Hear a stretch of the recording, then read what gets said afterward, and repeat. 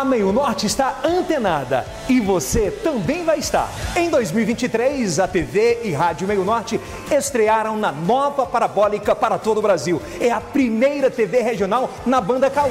Com a chegada do sinal 5G, telespectadores da TV aberta com parabólica convencional devem trocar o equipamento para o digital.